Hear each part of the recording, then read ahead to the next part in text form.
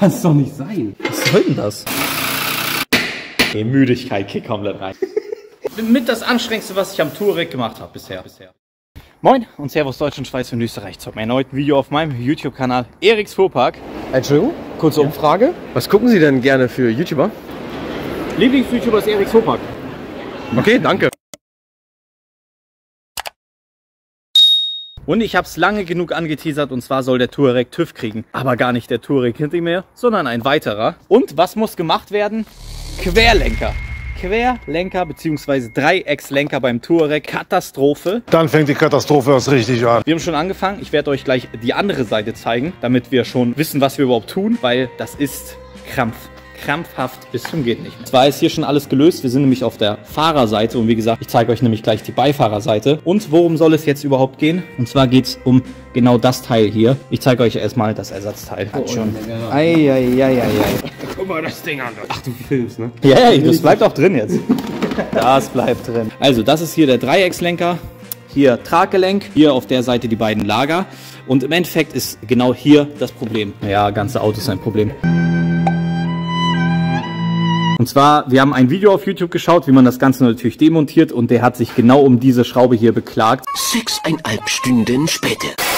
Und zwar ist das hier diese Exzenterschraube. Und zwar ist ja hier einmal ein Gummilager und da drinnen ist nochmal so eine Metallbuchse. So, und ihr müsst euch vorstellen, dass diese Schraube sich mit dieser Metallbuchse verrostet, vereint ist, verschweißt und die kriegt man einfach nicht mehr gelöst. Wir sind hier eben schon mal mit der Flex rangegangen. Das Problem ist aber, dass man im Prinzip nicht weit genug reinkommt. Man kann die Schraube nicht ganz durchtrennen. Das heißt, wir brauchen morgen ja so eine Stichsäge, eine Tigersäge oder so, damit wir die Schraube ganz abkriegen. Aber für das Video versuchen wir mal die andere Seite zu gehen. Ist eigentlich genau das gleiche Auto, also ein Touareg 7L, 3 Liter V6, alles gleich, bis auf 19 Zoller, ne? nicht schlecht, nicht schlecht. Und wir machen es hier auf der anderen Seite, weil der Typ im Video hat gesagt, bei ihm ging es auf der Fahrerseite gut. Wir werden sehen, ob es bei uns auch so ist. Also erstmal Reifen runter und sowas und dann werden wir mal schauen. Was sagst du? Ja, egal.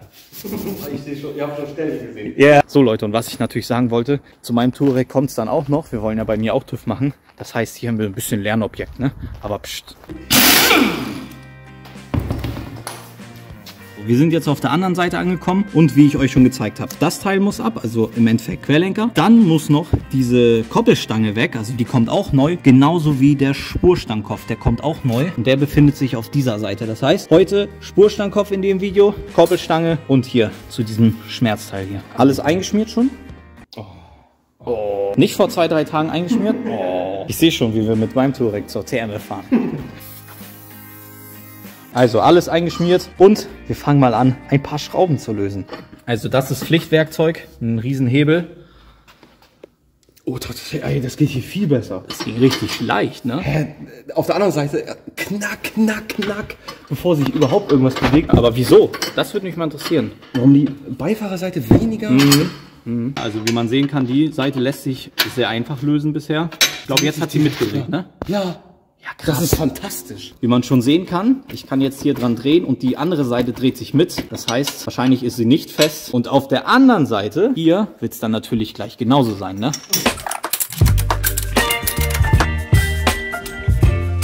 Ja.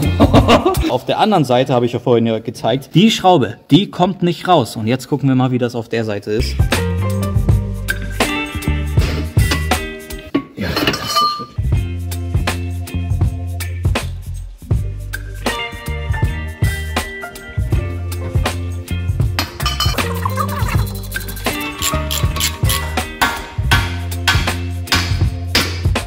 Gar nicht mehr auf Kamera geguckt gerade, aber war noch drauf. Also wer die Arbeit auch machen will, der Rest 21 bisher alles. Und jetzt haben wir einmal ein Sechskant H6. Und der kommt jetzt hier rein und dann können wir die Mutter lösen. Doch, versuch mal. Ich guck mal, ob ich das gegenhalten kann. Nö. ja. Hey, mach doch hier so. Und Werkzeug ist 2 x 18, sind äh, 36. Ich bin Zweifett. Wir sind uns jetzt gerade nicht sicher, ob die Schraube gerade am Reißen ist. Deswegen gucken wir jetzt zusammen mal, ob die Mutter sich nur dreht oder ob auch die Schraube mitdreht. Leg mal los. Ja. Nee, oh, perfekt, Alter.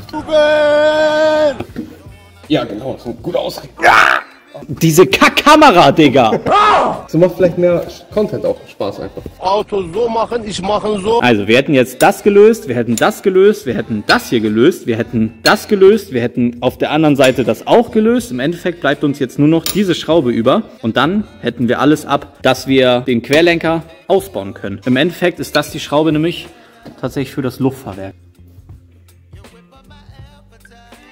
Maschine. Ja, kannst du machen. Also dreht nur Mutter. Es fühlt sich so weich an auf der Seite. So als, als würde es gleich abreißen. Geschmeidig, dieses, dieses kurz vorher. Dieses, Wenn es auf einmal leicht wird. So, also wir wären soweit. Wie wir gesehen haben, konnten wir jede Schraube perfekt lösen. Spurstangkopf. Oh, ja gut. Ja, Spurstangkopf. Wir haben mittlerweile schon 9.10 Uhr, also 21.10 Uhr. Dann hier, ne?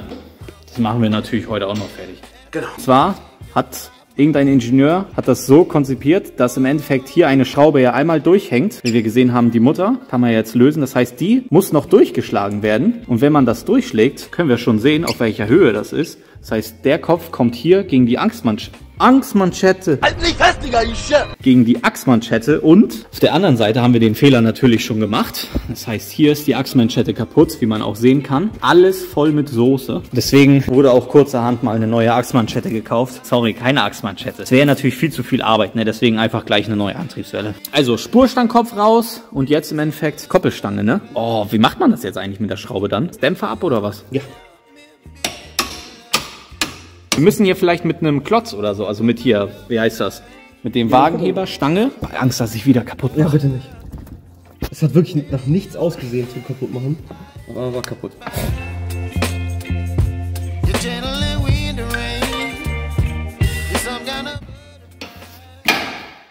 Okay, lass ab. Man hat's gehört, oder? Digga, der YouTuber, ne? Ach, guck mal, Ja, jetzt habe passt ich es doch. echt geschafft.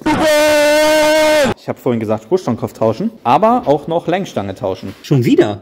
Komm schon wieder gegen. Theoretisch kannst du sie nicht rausnehmen. Zumal da kannst du ja auch nicht irgendwie nach was nach oben, nach unten machen.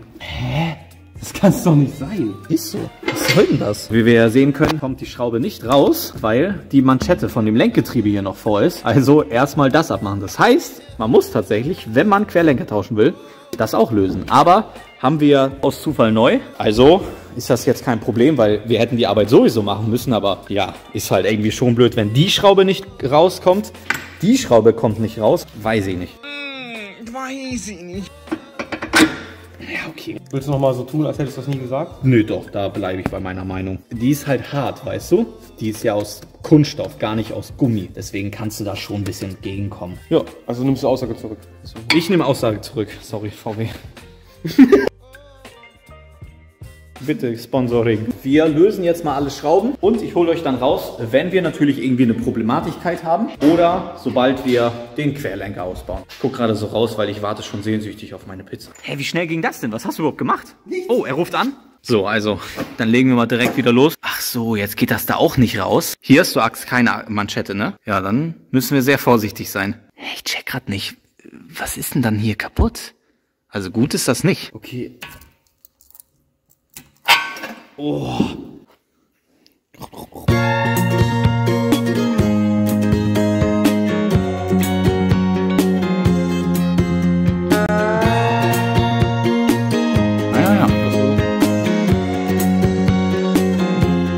So, es ist halb zwölf.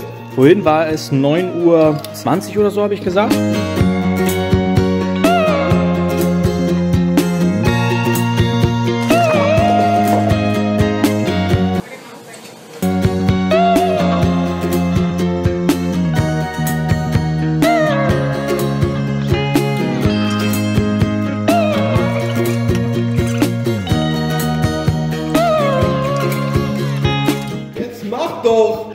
Bremsanlage ist verbaut.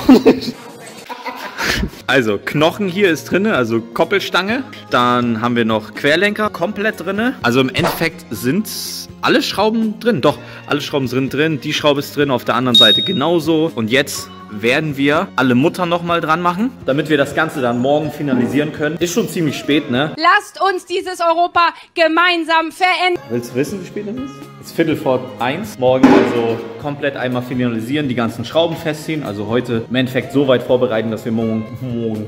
Dass wir, ey, ja, nee, Müdigkeit, Kick. Morgen. Ja, gekauft, dass wir morgen dann nur noch festziehen müssen. Also, bis morgen. Hallo Freunde, neuer Tag, neues Glück. Wir haben heute einen richtig sonnigen, schönen Tag und ich zeige euch mal, was wir geshoppt haben. Und zwar haben wir hier jetzt so eine Fuchsschwanz, also eine Säbelsäge mit einem Metallblatt. Im Prinzip geht es nämlich hier drum. Einmal hier rein, dass wir die Schraube durchsägen. Auf der anderen Seite, hast du da eigentlich schon was versucht? Ja, ja, da war ich. Müssen wir da auch durch? Ja, ne? Ja, sägen wir es auch durch. Auch durchsägen, ne?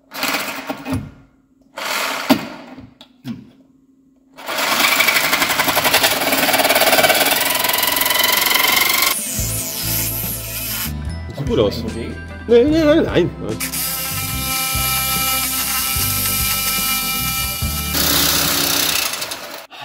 Äh, ich glaube, das Sägeblatt ist durch. Ich habe gerade auch geguckt, der, der wirft aber noch Späne. Viel zu wenig. Naja. Weil es tut sich nichts mehr.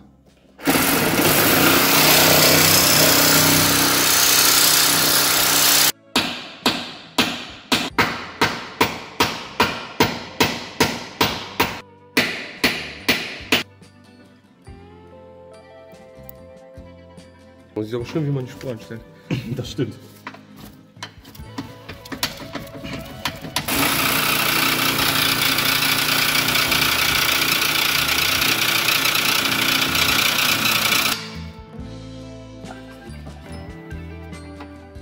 Aber die wackelt ja schon, komm. ASMR auf einmal, oder was? So, wir mussten noch die Antriebswelle rausbauen. Als wir hier durchgesägt haben, lag ungefähr die Säge. Die kam ja hier hoch und wäre sonst in die Antriebswellenmanschette reingegangen. Jetzt so weit reingesägt, dass wir hoffentlich die Schraube jetzt rausschlagen können oder rausdrehen. So, Freunde, also wie wir sehen können, kaum mehr Zähne dran. Also im Prinzip eigentlich gar nicht. Genauso auch, dass die Zähne so immer im Zickzack sind. Also ab zu Obi und ein bisschen was kaufen. So, also ab geht's.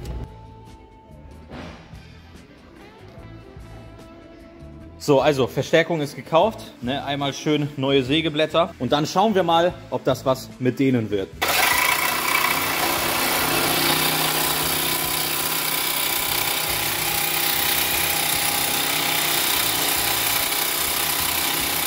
So Freunde, also das Teil wäre jetzt gelöst. Wir haben mit dem Ding noch ein bisschen weiter gesägt und im Endeffekt dann einfach mit dem Hammer und dem Meißel hier zwischen gegengeboxt und das Ganze hat sich dann gelöst. Hier sieht man auch ganz gut, wie wir gesägt haben. Das heißt erst von oben runter, dann haben wir die Schraube einmal gedreht, dann haben wir wieder so gesägt, dann haben wir so gedreht, dann haben wir hier wieder runter gesägt. Geil. Nach ein paar Stunden sind wir jetzt so weit, dass wir hier durchgesägt haben und äh, dort durchgesägt haben. Und jetzt versuchen wir endgültig diesen Querlenker hier auszubauen. Ah, fällt eigentlich gleich schon ab. Fantastisch. Also Leute, jeder, der das machen will, macht es nicht. Mit das anstrengendste, was ich am Touareg gemacht habe bisher.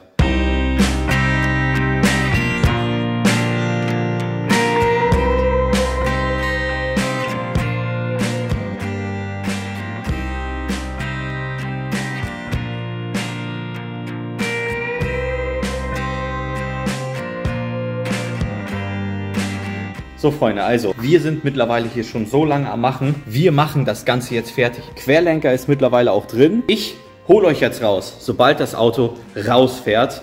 Und dann sehen wir uns morgen zu einer Probefahrt. Also ich würde sagen bis morgen, dann wenn es wieder hell ist. Obwohl ja, es ist... Hä? Wir halten uns dran und dann bis morgen.